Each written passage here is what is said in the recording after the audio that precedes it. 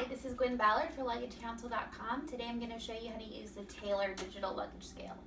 Uh, so to use this scale, there's just one button, so you press that on. And if you want to change units, you just press the button again. Uh, and to take your measurement, you're going to want to take the strap and wrap it around the handle of your luggage. There is a buckle, which is nice because it'll be easier to lift heavier luggage. You strap the buckle and then you just lift, making sure to keep it horizontal. And when you hear that beep, that means that the uh, measurement is done being taken. And this one's really nice because it has a circular design, so it's a lot easier to hold as opposed to just kind of holding it like this. So that is an advantage of this one.